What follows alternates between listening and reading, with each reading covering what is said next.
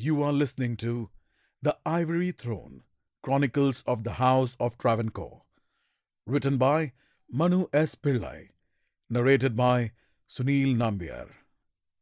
Chapter 1 A Painter Prince. In 1862, when Ravi Varma was presented at court to the Maharaja of Travancore, little did he presume he was destined to emerge as one of the great luminaries of his generation. He had arrived in Trivandrum, the principality's capital, as a physically unprepossessing, swarthy stripling, whose facility and sophistication, however, belied his age. At fourteen, he had, in the manner of the Malayali aristocracy of the day, had an education in Sanskrit and Malayalam, with an honorable appreciation of music, drama, and rather unusually, painting. His family were country aristocrats, lording over a few thousand acres of freehold at the grace and favor of the Maharaja, who was closely connected to them by marriage.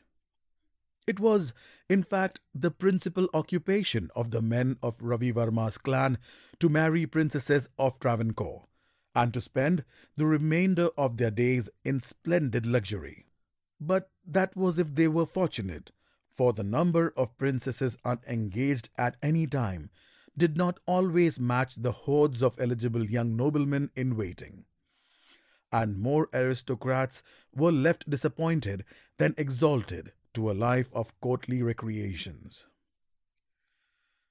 Used as he was to a country setting of fields, temples, and rustics, for the young boy, Trivandrum was a majestic change. Its architecture, a charming blend of the Kerala and European styles, was vastly different from that of his traditional home in Kilimanur. There were leafy avenues and well kept boulevards where the Maharaja went out for his drives, surrounded by public buildings, libraries, schools, and all the other accessories of a nascent modern state.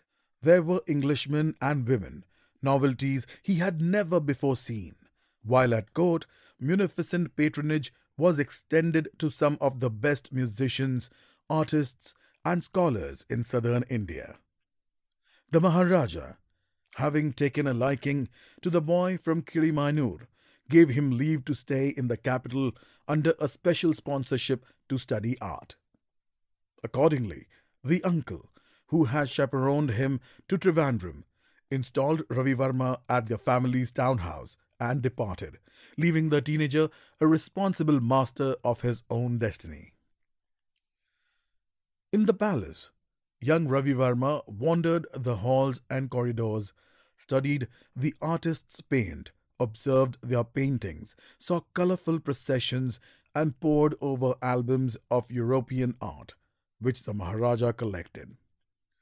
The royal library and manuscript collection were at his welcome disposal, and he read and absorbed with an enthusiastic voracity. He had seen tales from Hindu mythology depicted on the walls of temples and in the murals at his family home. But what he really wanted to do was to bring them to life himself in paint, and specifically in oil paint. At the time, the chief Darbar artist was Ramaswamy Naikar of Madurai, who alone knew how to mix and paint in oil a technique he jealously guarded from rivals at court. Ravi Varma was no exception, and consequently found himself kept at a watchful distance. Despondent, one account goes, he marked his time with none to initiate him into the mysteries of perspective and chiaroscuro, of compositions and complementary colors, with all the encouragement he received being the occasional advice of the Maharaja that perseverance is the best guru.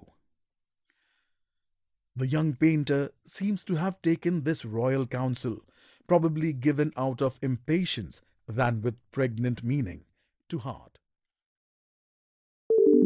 We hope you enjoyed this preview. To continue listening to this audiobook on Google Play Books, use the link in the video description.